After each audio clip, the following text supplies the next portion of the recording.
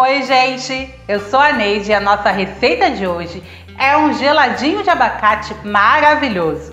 Esse geladinho fica muito gostoso, super cremoso e é muito econômico, pois não vai nem leite condensado e nem creme de leite e rende bastante. E nesse vídeo vou te mostrar passo a passo como fazer esse geladinho, que dá para você vender e ganhar dinheiro. E com certeza todos vão gostar. Então, sem mais demora, Vamos lá para nossa receita de hoje.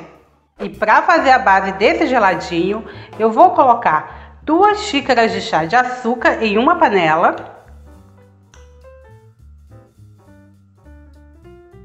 Uma colher de sopa de liga neutra. Para quem não conhece a liga neutra, é esse pozinho branco que vai dar cremosidade ao seu geladinho. Agora eu vou misturar a liga neutra ao açúcar. Fazendo dessa forma, gente, não vai ficar gruminhos. E, gente, não pode substituir a liga neutra por outro ingrediente, tá? Tem que ser a liga neutra. Depois de tudo muito bem misturado, eu vou acrescentar um litro de leite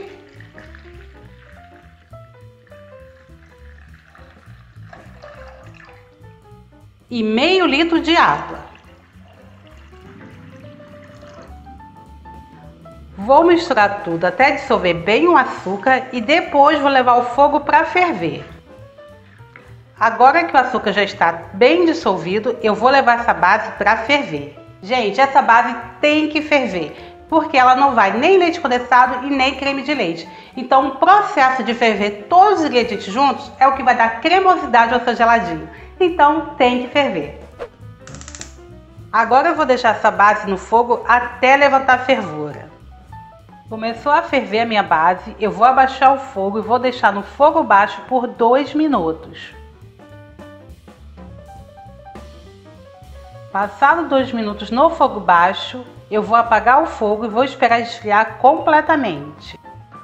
Minha base já está completamente fria e hoje a gente vai fazer o geladinho de abacate. Eu vou precisar de um abacate. Esse abacate inteiro, gente, tinha meio quilo. Eu vou colocar a polpa do abacate no liquidificador e vou acrescentar a minha base.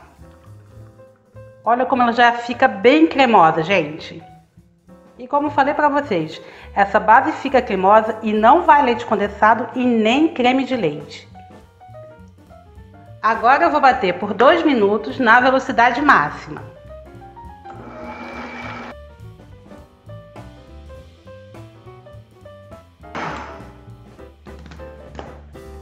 Olha como fica esse geladinho, super cremoso. E agora eu vou encher os saquinhos.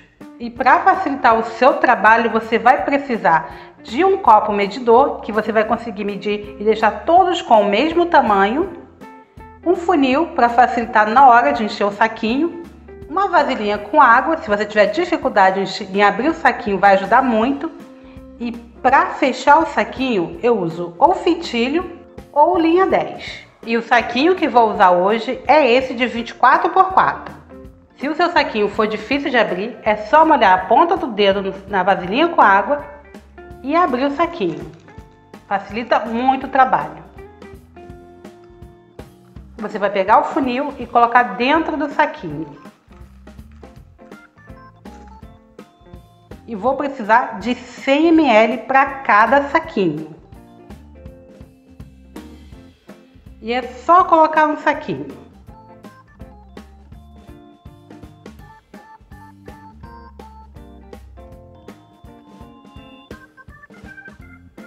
Depois eu tiro o funil.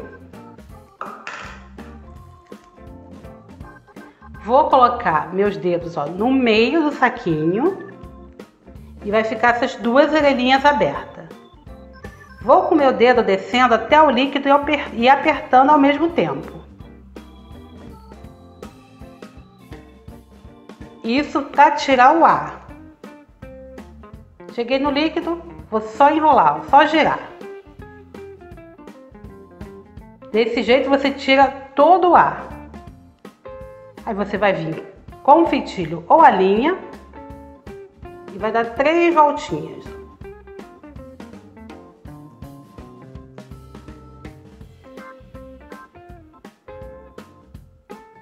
Depois é só dar um nozinho. Eu gosto de dar três nozinhos, que fica bem seguro. Esse excesso é só cortar com uma tesoura. Sobre aqui em cima também. E olha como ele já fica.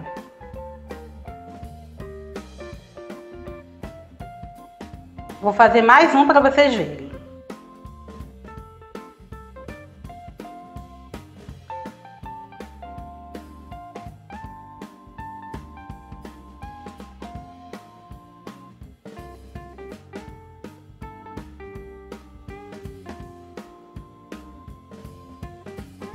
Eu vou continuar enchendo os meus saquinhos e já já eu volto para mostrar para vocês. E uma dica muito importante, fique até o final do vídeo, porque no final eu vou te falar quanto que eu gastei para fazer esses geladinhos e quantos me renderam. Já enchi todos os saquinhos dos meus geladinhos e agora eu vou levar para congelar. E já já eu volto para mostrar como ficou para você.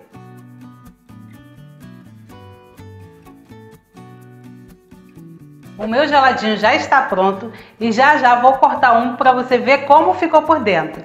Mas antes vamos ao custo total da receita. Eu gastei para fazer toda essa receita R$ 8,67. Me renderam 22 geladinhos.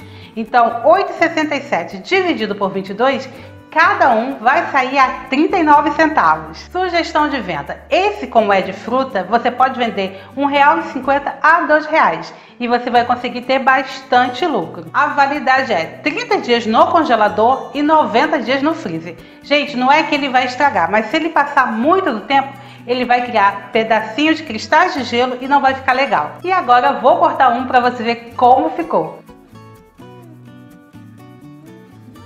Olha como ele fica com uma cor bem bonita. E fica super cremoso.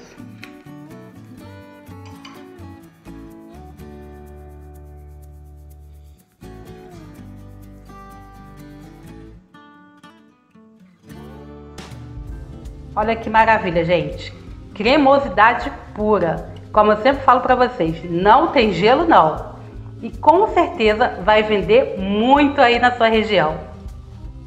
E se você quer aprender mais de 90 receitas de geladinho, é só clicar no primeiro link na descrição do vídeo. Espero que você tenha gostado da nossa receita de hoje e se você gostou, já deixa o seu joinha porque isso ajuda muito o nosso canal. E para você não perder nenhuma receitinha como essa, é só clicar no botãozinho vermelho aqui embaixo. E aqui do lado estou deixando mais uma receita que eu tenho certeza que você vai gostar. Bom, eu vou ficando por aqui e até o próximo vídeo. Um beijo a todos e tchau!